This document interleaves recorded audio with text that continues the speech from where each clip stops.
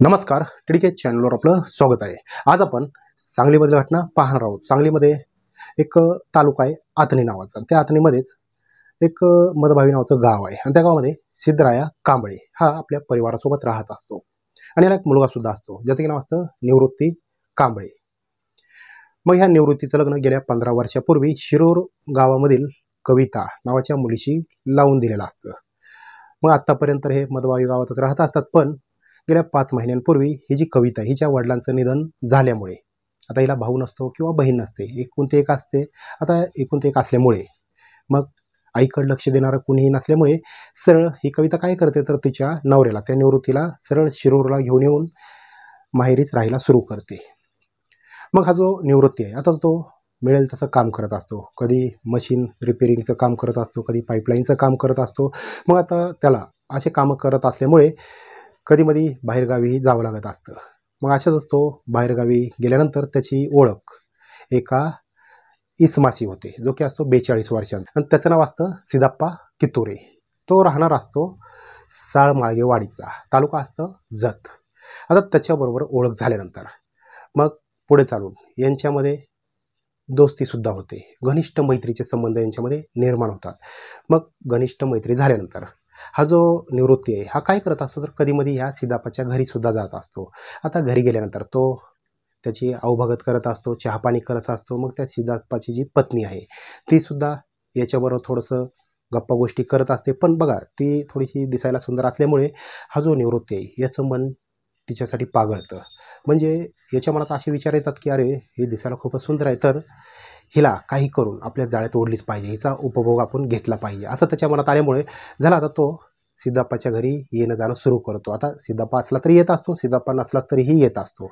मग आता या जी गोष्टी आहेत ह्या लपून राहणाऱ्या नसतात. मग शेजार पाजारचे जे काही लोक आहेत ते सिद्धप्पाला म्हणतात की अरे तुझा जो मित्र आहे निवृत्ती हा सारखं तुझ्या घरी येत असतो. थोडंसं लक्ष ठेव. मग आता हे ऐकून हे काढल्यानंतर त्याला सुद्धा थोडंसं वेगळं वाटतं. मग तो थोडंसं पत्नीकडे लक्ष देतो तर पत्नीचं चालचलन त्याला थोडंसं बदललेलं दिसतं. पण तो पत्नीला डायरेक्ट काही म्हणत नाही किंवा त्या निवृत्तीला सुद्धा काही म्हणत नाही. त्याला असं वाटतं की अरे आपण यांना रंगे हात पकडलेलं नाही किंवा समक्ष आपण डोळ्यांनी काही यांचं पाहिलेलं नाही. जर यांना काही म्हणावं तर हेच आपल्याला खोट्यात पाडतील किंवा यांच्यासमोर आपली तोंडबशी होईल. म्हणून तो काही म्हणत नाही तर संधीची वाट पाहत असतो. आणि ती संधी त्याला चालून येते सुद्धा. आता एका दिवशी काय झालेलं असतं तर तारीख असते बारा ऑगस्ट दोन हजार चोवीस. आता या दिवशी हा जो निवृत्ती आहे याला बाहेर एक काम मिळालेलं असतं मशीन रिपेरिंगचं म्हणून. मग त्याचा जो एक मित्र आहे ज्याचं नाव असतं गणेश वाघमारे तो त्याला सोबत घेतो आणि त्या गावी जातो. सकाळी आठ वाजता घरातून बाहेर पडलेला असतो आणि त्याची जी पत्नी आहे कविता हिला सुद्धा सांगतो की मला रात्री घरी यायला उशीर होईल. तीही ठीक आहे म्हणते.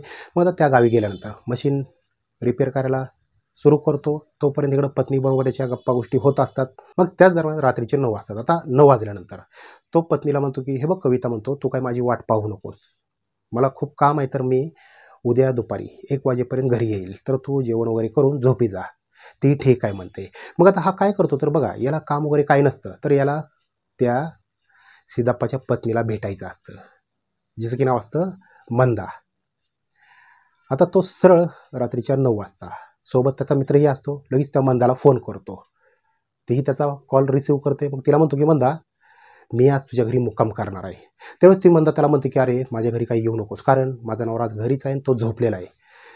पण बघा आता हा जो निवृत्ती आहे तिने तेवढं सांगून समजावून सुद्धा त्याला समजत नसतं. कारण त्याला त्याच्या शरीराची खूपच चटक लागलेली असते. त्याला काही झालं तरी आज तिच्यापासून शरीर सुख हे पाहिजेच असतं. म्हणून तो तिला म्हणतो की हे बघ मला ते काही माहीत नाही. मी एकदम गपचूपरित्या येईल. आपण जे करायचं करूया आणि मी तिथून निघून जाईल. ती ठीक आहे म्हणते. होकार देते ती सुद्धा त्याला. मग तो सरळ त्याच्या टू व्हीलरवर त्या गणेश वाघमारेला सोबत घेतो आणि सरळ या साळ माळगेवाडीला येतो. मंदाच्या घरी. आता तिथं आल्यानंतर. लगेच ती सुद्धा त्याची वाटच पाहत असते. रात्रीचे साडे अकरा बारा वाजलेले असतात. मग ती त्याला आतमध्ये घरात घेते. इकडं हा घोरत पडलेला असतो तिचा नवरा सिदाप्पा मग आता घरात घेतल्यानंतर झालं. यांच्या कार्यक्रमाला सुरुवात होते. आता कार्यक्रमाला सुरुवात झाल्यानंतर म्हणजेच शरीर संबंधाला सुरुवात झाल्यानंतर. मग हा जो सिदप आहे आता हा तर झोपलेला आहे पण कसला तरी आवाज येतोय कसली तरी हालचाल जाणवते म्हणून त्याला थोडीशी जाग येते. आता जाग आल्यानंतर ज्यावेळेस तो उठून पाहतो तर अक्षरशः त्याला धक्काच बसतो. त्याच्या डोळ्यावरच त्याचा विश्वास बसत नाही कारण त्याची पत्नी खाली असते आणि तिच्या वर कोणतरी स्वार झालेला असतो असं काही त्याला दिसतं. मग तो एवढा चिडतो की सरळ उठून त्या निवृत्त तिच्या दिशेने धावतो त्याला सरळ मारायला सुरू करतो पण निवृत्ती. त्याच्यापेक्षा थोडासा धडधाकट असल्यामुळे याची ताकद कुठेतरी त्या निवृत्तीसमोर कमी पडते. निवृत्ती त्याच्यावर स्वार होतो. मग आता त्याला असं जाणवल्यामुळे तो सरळ त्याच्या भावाला हाका मारतो. ज्याचं नाव असतं महादेव. त्याला जोरजोरात हाका मारतो. महादेवसुद्धा लगेच त्याच्या घरी येतो. त्याला विचारतो अरे काय झालेलं आहे? म्हणून. लगेच तो त्याला सर्व काय सांगतो की हा इथं आलेला आहे. माझ्या पत्नीबरोबर याचे अनैतिक संबंध आहेत आणि माझ्या डोळ्यासमोर यांची नाहीती नाटकं सुरू आहेत. आता हे ऐकल्यानंतर त्या महादेवच्या तळ पायाखालची वाळूस लागते तो इतका चिडतो की म्हणतो माझ्या भाऊजाईबरोबर तुझ्या अनैतिक संबंध धडधडत आमच्या घरात येऊन असा करतोच. म्हणून हे दोघं त्या निवृत्तीला खूपच मारायला सुरू करतात. इतकं मारायला सुरू करतात की सरळ त्याला धरतात आणि ओढत ओढत फरफडत बाहेर आणतात आणि एका रशीने त्याला बांधायला सुरू करतात. त्याच दरम्यान हा जो सिद्धप्पा आहे तो काय करतो? तर आता त्याच्या नातेवाईकांना फोन लावायला सुरू करतो. जसं की त्या मंदाच्या भावाला आणखीन इतर नातेवाईकांना आणि त्यांना म्हणतो की तुमच्या मित्रांना सुद्धा सोबत घेऊन या. आणि येताना सोबत काट्या लाट्या पाईप जे मिळेल ते घेऊन या. कारण आज याचा सोक्षमोक्ष लावायचा आहे. माझा मित्र म्हणून माझ्या पाठीमागे माझ्या पाठीत खंजीर खूप असतो. काय? माझ्या डोळ्यादेखत माझ्या पत्नीसोबत. शरीर संबंध ठेवतोय. काय? असं काय म्हणतो? झाला आता. ते लोकसुद्धा आणि त्यांना आणखीन एक गोष्ट सांगतो की येताना स्विफ्ट गाडी घेऊन या. आपली जी फोर व्हीलर आहे ती सुद्धा घेऊन या सोबतच. मग हे लोक स्विफ्ट गाडीमध्ये येतात सोबत. रॉड काट्या लाट्या पी व्ही सी पाईप हे सगळं घेऊन आल्यानंतर आता त्याला तर बांधायला असतं. मग सर्व मिळून त्याच्या अंगावर इतकं तुटून पडतात की अक्षरशः त्याला इतकं मारायला सुरू करतात. तो विवळतो क्षमयाचना करतो क्षमा मागतो माझी झाली चूक म्हणतो मी इथून असं वागणार नाही मला सोडून द्या. आणि आता इकडं काय चाललेलं आहे म्हणून त्याचा जो मित्र आहे तो गणेश वाघमारे तो पळत पळत यांच्या दारापाशी येतो त्यावेळेस बघतो तर तो सुद्धा हादरून जातो. मग हे दोघं भाऊ त्याला सुद्धा बघतात म्हणतात अरे ह्याला सुद्धा पकडा ह्याला पण सोडायचं नाही. हा याच्यासोबतच इथं आला होता म्हणजे हा याला मदत करत होता का? म्हणून त्याचा ते पिच्छा करतात पण तो अंधाराचा फायदा घेऊन तिथून पसार होतो. त्यांच्या तावडीतून निष्ठून जातो म्हणून त्याचा जीव वाचतो. मेला इतका इतकं मारतात की हा निश्चित पडतो. अक्षरशः याचा जीव जातो. आता जीव गेल्यानंतर याचा मृतदेह ते त्यांच्या स्विफ्ट गाडीत घालतात आणि सरळ स्विफ्ट गाडी आनंदपूर जो रोड आहे तिथला त्या दिशेने वळवतात. तिकडं गेल्यानंतर तिथे एक बस स्टँड असतं एकोंडी क्रॉस नावाचं. त्या बस स्टँडवर जातात आणि त्याच्या मृतदेहाला तिथं फेकून हे म्हणजे सात आठ जण जवळजवळ सात आठ जण असतात तेवढे जण तिथून पसार होतात. आता तिथून पसार झाल्यानंतर मग दुसरा दिवस उजाडतो. तेरा तारीख येते तेरा ऑगस्ट दोन हजार चोवीस. आता या दिवशी सकाळची वेळ असते. त्याची जी पत्नी आहे कविता ती नवऱ्याला फोन करत असते. पण त्याचा मोबाईल हा बंद येत असतो किंवा स्विच ऑफ लागत असतो. मग तिला वाटतं की चला झोपले असतील कामात असतील कामाने थकून गेले असतील लावता येईल. नंतर फोन लावता येईल म्हणून ती नंतर परत प्रयत्न करते तरी त्याचा फोन स्विच ऑफ लागत असतो. मग तिला वाटतं की चला एक वाजेपर्यंत येतील म्हटले होते तर एक वाजेपर्यंत येतील असं काय तिला वाटतं? एक वाजेपर्यंत वाट पाहते तरीही ते न आल्यामुळे परत त्यांना फोन लावते परत स्विच ऑफ लागत असल्यामुळे ते आता कुठेतरी व्याकुळ झालेले असते बेचैन झालेले असते. टेन्शन तिला आलेलं असतं की आपला नवरा का आलेला नाही आणखी काय झालेलं आहे नक्की? फोनही स्विच ऑफ लागतोय त्यांचा फोनही आपल्याला येत नाही. मग अशातच संध्याकाळ झालेली असते. आता संध्याकाळी मधभावी जे गाव आहे म्हणजे त्या निवृत्तीचं गाव त्या गावचा एक माणूस त्यांच्या गावी आलेला असतो त्या शिरूरला. ज्याचं की नाव असतं सीतप्पा कांबळे. आता तो आल्यानंतर तो सरळ कविताला म्हणतो की अरे कविता म्हणतो तुझ्या नवऱ्याची बहुतेक बाहेर काहीतरी भानगड आहे. ती म्हणते का काय झालेलं आहे? लगेच तो मोबाईलमधला फोटो काढतो आणि फोटो दाखवतो. बघ म्हणतो इथलं जी एकोंडी क्रॉस बस स्टँड आहे का त्या बस स्टँडवर जा. म्हणजे तुला सर्व काही लक्षात येईल. आता हे कळल्यानंतर ती इतकी घाबरून जाते फोटो पाहून. इतकी घाबरलेली असते की सरळ त्यांचे नातेवाईक सर्वांना गोळा करते आणि सरळ त्या एस टी स्टँडवर निघून जाते. तिथं गेल्यानंतर पाहते तर भरपूर बघ्यांची गर्दी झालेली असते.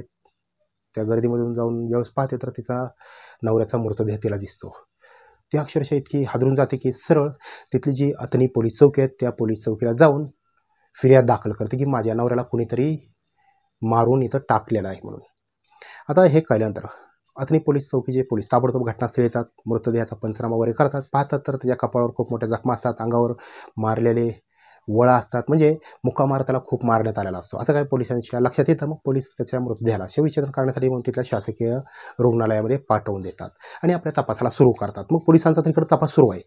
त्याच्यामध्ये चार पाच दिवसांचा कालावधी लोटतो. आता तारीख येते सतरा. आता सतरा ऑगस्ट दोन हजार चोवीसला काय झालेला असतं? तर तो जो गणेश वाघमार आहे जो की त्या निवृत्तीचा मित्र असतो त्यांच्या तावडीतून पळून गेला असतो सुटून. तो चाबुकसरवाडीला गेलेला असतो. आता चाबुकसरवाडी कुणाचं गाव असतं? तर त्या मंदाचं म्हणजे मंदाचं माहेर असतं. तिथं जाऊन त्या मंदाची भेट घेतो. आता भेट घेतल्यानंतर तिला विचारतो की निवृत्ती कुठं आहे? त्याचं काय झालेलं आहे? त्यावेळेस मंदा त्याला म्हणते म्हणजे सांगायला सुरू करते. म्हणते की अरे तू ज्यावेळेस पळून गेला त्यावेळेस तुझ्या मित्राला म्हणजे निवृत्तीला माझ्या नवऱ्यानी त्याच्या भावानी माझ्या भावानी इतर नातेवाईकांनी पकडून त्याला इतका बेदम चोप दिला की अक्षरशः तो अर्धमेला झाला. तरीही तो सोडा म्हणत होता. मग स्विफ्ट गाडीमध्ये येऊन त्याला टाकत असताना त्यावेळेससुद्धा तो जिवंत होता. तो माफी मागत होता मला सोडून द्या म्हणत होता. त्यावेळेससुद्धा त्याला गाडीमध्ये टाकण्याच्या आधी तिथंही भरपूर मारला. आता तिथं इतका मारला की तिथंच त्याचा जीव गेला. आणि जीव गेल्यानंतर त्याला गाडी टाकून सरळ तिथलं जे एकुंडी क्रॉस बस स्टँड आहे त्या बस स्टँडवर त्या लोकांनी रात्रीच्या दोन वाजता येऊन त्याचा मृतदेह फेकून दिला. झाला तर त्या गणेशला. हे केल्यानंतर तो इतका म्हणजे भाऊक होतो इतका हादरून जातो की सरळ तो आता शिरोरला येतो. आता शिरोरला आल्यानंतर त्या कविताच्या घरी निवृत्तीच्या घरी. तिथं आल्यानंतर कविताला म्हणतो की वहिनी म्हणतो तुम्हाला माहिती आहे का? आपल्या निवृत्तीचा खून करण्यात आलेला आहे. त्याला मारण्यात आलेला आहे. ती म्हणते हो त्यांचा मृतदेह मला सापडला आहे. बस स्टँडवर टाकून देण्यात आला होता. तुला माहिती आहे कोणी मारलं आहे त्यावेळेस तो म्हणतो की हो मला माहिती आहे कोणी मारलं आहे मग ती ज्यावेळेस त्या गणेशला विचारायला सुरू करते ज्यावेळेस तो गणेश त्याच्याबद्दल जी काही माहिती आहे तेवढी सांगायला सुरू करतो त्यावेळेस तिच्या पायाखालची जमीनच सरकते. तिला असं वाटतं की अरे आपला नवरा. म्हणजे तो माहिती काय सांगतो तिला तर? निवृत्ती जो आहे का त्या निवृत्तीचे एका मंदा नावाच्या साळ माळगेवाडीच्या महिलेशी प्रेमसंबंध होते आणि संबंध होते. आणि ते संबंध तिच्या नवऱ्याने उघड्या नजरेने पाहिले. यांचे शरीर संबंध सुरू असताना म्हणून त्याला मारून टाकला. झाला तर ही माहिती मिळाल्यानंतर ती कविता इतकी म्हणजे इतकी हादरून जाते तिला असं वाटतं की आपल्या नवऱ्याला आपण किती म्हणजे मेहनती कष्टी म्हणजे एक पत्नीव्रता समजत होतो. पण हा तर म्हणजे बाईलवेळा म्हणजे लिंगपिसात माणूस निघाला. म्हणजे तिलाही त्या क्षणी त्याचा खूप राग येतो. कुठंतरी तिलाही वाटतं की अरे म्हणजे ह्याला याच्या कर्माचं फळ मिळालं आहे असं तिला वाटतं. पण आता नवरा आहे म्हटल्यानंतर ती काय करते? तर सरळ ती जी आतनी पोलीस चौकी आहे त्या पोलीस चौकीला जाते. ह्या गणेशला सोबत घेऊन आणि पोलिसांना परत सांगायला सुरू करते. साहेब म्हणते माझ्या नवऱ्याला ज्या कोणी मारलेला आहे का त्यांना या गणेशने पाहिलेला आहे. हा म्हणजे साक्षीदार आहे. मग आता पोलीस त्या गणेशला विचारायला सुरू करतात. मग जेवढं काय घटना घडलेली आहे म्हणजे का त्याला मारलं कायसाठी मारलं मारण्याच्या मागचं कारण काय होतं सर्व तो पोलिसांना सांगतो आणि जेवढ्या लोकांनी मारलं तेवढ्या लोकांची नावंसुद्धा पोलिसांना सांगून टाकतो. मग झालं आता पोलिसांना हे सर्व कळल्यानंतर. बघा ही जी केस आहे ही आतनी पोलीस चौकीमध्ये सुरुवातीला यांनी एफ आय आर केली होती किंवा गुन्हा दाखल केलेला असतो. आणि ही आतनी पोलीस चौकी कर्नाटकच्या हद्दीमध्ये येत असते. मग ज्यावेळेस पोलिसांना कळतं की ही जी घटना ही साळ माळगे वाडीला घडलेली आहे. तालुका आहे जत म्हणजे सांगलीमध्ये. मग हा जो भाग आहे किंवा ही जी हद्द आहे हे महाराष्ट्र हद्दीमध्ये हे गाव येत असतं. असं पोलिसांना कळल्यानंतर पोलीस सरळ आता ही जी केस आहे पहिलं तर कन्नडी भाषेमध्ये सर्व काही त्यांनी नोंद केलेली असते नंतर कन्नडी भाषा मराठी भाषेमध्ये रूपांतर करून गुन्हा इकडं वर्ग करतात ह्या जत पोलीस चौकीला. मग इकडं हा गुन्हा वर्ग करण्यात आल्यानंतर. इकडे जे पोलीस आहे मग आरोपींच्या शोध घ्यायला सुरू करतात. काही आरोपीही सापडतात. टोटल सात ते आठ आरोपी असतात. त्यामधले चार ते पाच आरोपी सापडतात. बाकीचे फरार झालेले असतात पोलीस त्यांचा शोध घेत असतात किंवा शोध सुरू असतो. मग अशा प्रकारे ह्या केसचा सर्व काही खुलासा होऊन जातो. आता याच्यामध्ये काय झालेलं आहे? तर जी कविता आहे तिला काय वाटत असतं तर माझा नवरा हा खूपच मेहनती आहे कष्टाळू आहे किंवा एक पत्नी एक वचनी एक बाणी अशा प्रकारचा माणूस आहे. म्हणून तिला खूपच नवऱ्यावर अभिमान होता स्वाभिमान होता. पण ज्यावेळेस तिला कळलं की आपला नवरा हा बैलवेडा आहे किंवा लिंगपिसाट आहे बाहेरच्या महिलांच्या नादाला लागत असतो किंवा कुठेही जाऊन मार खात असतो असं ज्यावेळेस तिला कळतं त्यावेळेस अक्षरशः तिच्या पायाखालची जमीनच सरकते. आणि कुठंतरी तिच्या मनातसुद्धा तिरस्कार त्याच्याबद्दल निर्माण होतो. तर काही करताना थोडासा विचार करायला पाहिजे. आता याच्यामधून काय झालेलं आहे तर सात ते आठ लोक जेलमध्ये जाऊन बसणार आणि ती जी मंदा आहे तिला तर तिच्या नवऱ्याने काही केलेलं नाही. मग ही जी घटना आहे ही ज्यावेळेस माध्यमांमध्ये आली तर ती त्याच्या पत्नीबरोबर त्याने काही केलं आहे किंवा नाही किंवा तिला काही शिक्षा केली का असं काही कुठंही नमूद केलेलं नाही तर फक्त नमूद काय केलेलं तर त्याला मारलं. तिचाही तेवढाच गुन्हा होता तिची तेवढी चुकी होती तर तिलासुद्धा काही ना काही शिक्षा करायला पाहिजे होती. पण तिला काही न करता फक्त याचा जीव घेण्यात आलेला आहे. तर मित्रांनो ही होती याची स्टोरी आपल्याला कशी वाटली कशी नाही मला कमेंट बॉक्समध्ये कमेंट करून सांगा. तर आपण परत उद्या आणखीन एखाद्या नवीन स्टोरीमध्ये भेटूया. तोपर्यंत आपण खुश राहा आनंदी राहा आपल्या परिवाराची काळजी घ्या. तोपर्यंत धन्यवाद.